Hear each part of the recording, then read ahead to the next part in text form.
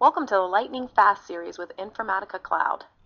In this video, I will show you how to use external IDs to synchronize data in Salesforce with data in a third-party system, such as an order management or billing system. I will also show you how to use the Related Objects feature to link related data, such as contacts and accounts, in Salesforce. Let's walk through the business scenario. In addition to Salesforce, your company is using an on-premise billing system this system contains account information that must be kept in sync with the account information in Salesforce. You have a file that contains all of the account data from the billing system. Your goal is to synchronize that data with the account data in Salesforce. Here is an example of a single record in the file. Note that it contains information about the account, such as the account name, street address, city, state, and postal code. It also contains an account ID, this ID is used to uniquely identify this account record in the billing system. When you use Informatica Cloud to upsert the data into Salesforce, the account ID from the billing system is stored on the account record in Salesforce in a custom field that has been marked as an external ID field. When information in your billing system changes, in this case, a fax number has been added for the Acme account, and you use Informatica Cloud to upsert the data a second time, the existing record is found in Salesforce using the external ID field and the record is updated. In this case, the fax number is added to the account in Salesforce. In a further example, you may also have a file that contains all of the contacts defined in your billing system. Note that a contact record contains information about the contact, such as the first and last name, as well as a contact ID that uniquely identifies the contact in your billing system. The contact record also contains an account ID. This field is used to relate the contact back to an account. When you use Informatica Cloud to upsert the contact data into Salesforce, the contact ID from the billing system is stored on the contact record in Salesforce, and the account ID is used to relate the contact back to the correct account.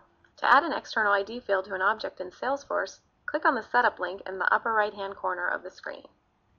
Now, Locate the App Setup section in the menu on the left-hand side of the screen and click on the Customize link. Locate the object that you wish to add the field to. In this case, I will click on the Accounts object. To add a new field to the Accounts object, click on Field. This page shows you all of the fields that have been defined on the Accounts object. Scroll down to the Custom Fields and Relationships section and click the New button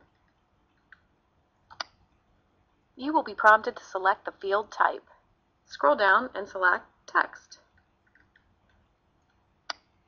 Click the Next button. You will now be prompted to enter a label, maximum length, and name for the field.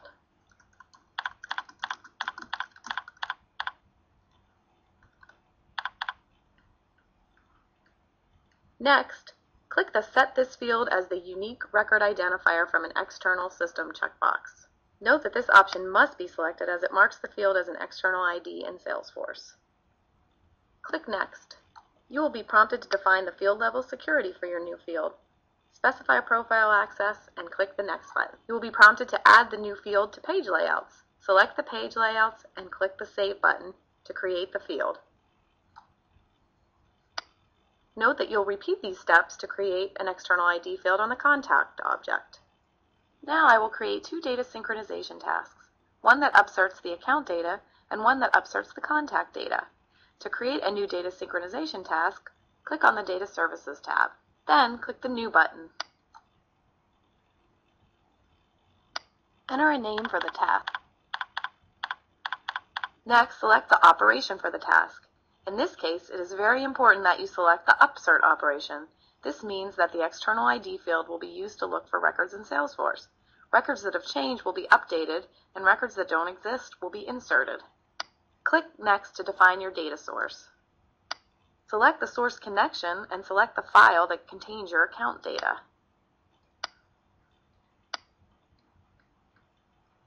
Note the Billing System ID field in the source data file. This field identifies the record in our billing system and will be mapped to the account's external ID field in Salesforce. Click the Next button to define your data target. Select your Salesforce connection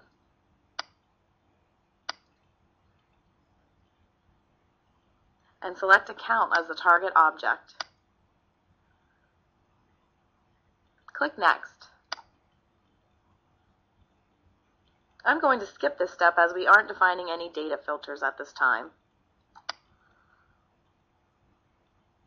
I now need to map any fields that were not automatically mapped by ICS. First, because I selected an upsert operation, I'm going to make sure that my external ID field is mapped. Note that an external ID field in Salesforce is denoted by a special icon, a key with a green plus in front of it. I'm going to drag and drop my account ID field on the billing system ID field in Salesforce. I'll then map any additional fields such as the account name and phone number fields.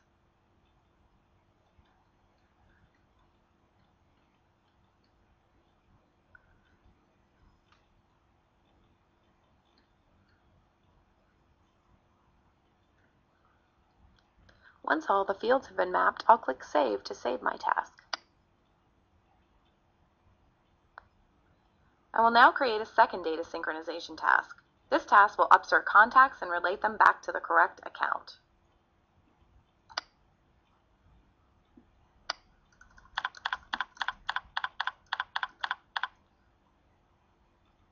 Again, I will select the upsert operation.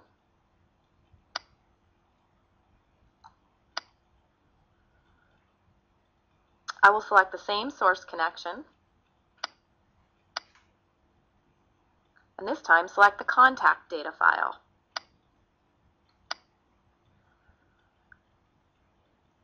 Note the account ID field in the source data file. The value in this field will be used to relate the contact to the correct account in Salesforce. Click the Next button to define your target. Now I'll select my Salesforce connection and this time select the contact object.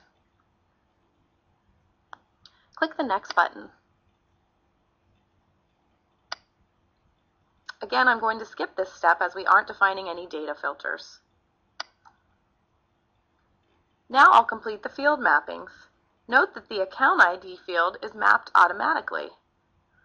I'll also need to map the contact ID field and a few other fields.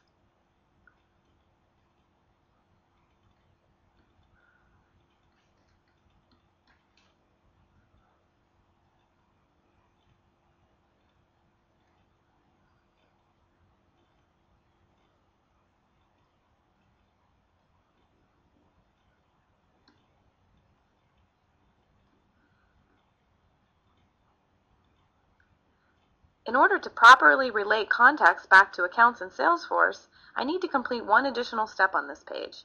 I need to identify the relationship between a contact and account and specify the external ID field that is used to link the objects. Note that this feature is available for any objects that have a predefined relationship in Salesforce. In this case, account and contact have a master detail relationship.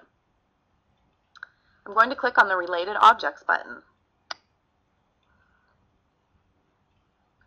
In the first row, which specifies the relationship between a contact and an account, select the External ID field. Then click OK.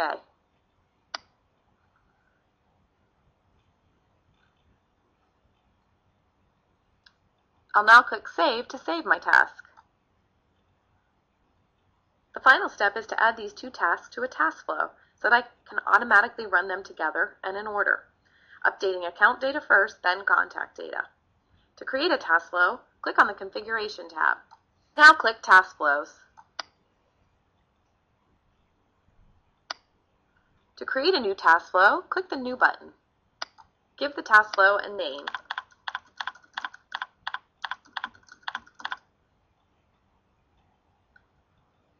If you want the task flow to run automatically, select a schedule.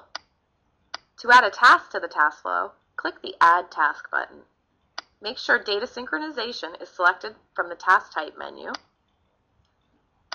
Then select your task from the list. Click OK. Repeat the steps to add the Contact Sync task.